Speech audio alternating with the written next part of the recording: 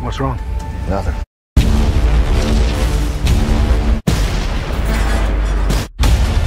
Gerard Butler is a Scottish actor who has gained international fame for his performances in a wide range of films. He was born on November 13, 1969, in Paisley, Scotland. Butler initially pursued a career in law, studying at the University of Glasgow School of Law and working as a trainee lawyer at a law firm in Edinburgh. However, he ultimately decided to follow his passion for acting and moved to London to pursue a career in the entertainment industry. So anyway, I just uh, flew with the United States Air Force Thunderbirds. Uh, basically, just had the best time of my life. Butler's breakthrough role came in 2006 when he portrayed King Leonidas in the epic historical film 300.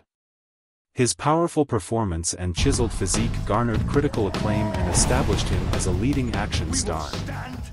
Following the success of 300, Butler went on to star in numerous high-profile films, including Law Abiding Citizen, 2009, Olympus Has Fallen, 2013, and The Phantom of the Opera, 2004, where he showcased his versatility as an actor.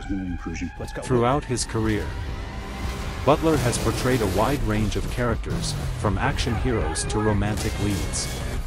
He has demonstrated his ability to tackle both intense and emotionally complex roles. Some of his notable films include P.S. I Love You, 2007, RocknRolla, 2008, Machine Gun Preacher, 2011, and Den of Thieves, 2018. Beyond acting, Butler has also shown a passion for producing.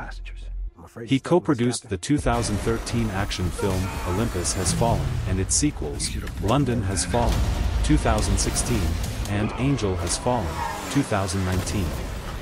In terms of his personal life, Butler prefers to keep his private life out of the spotlight. However, it is known that he has been romantically linked to several high-profile celebrities, although he has not publicly confirmed any long-term relationships. Stretch and point. Gerard Butler's career as an actor has made him a well-known figure in the entertainment You entertainment know, and it's the industry, energy of, admired for his of community charisma, and talent, life and versatility. helping each other. No one is coming to rescue us.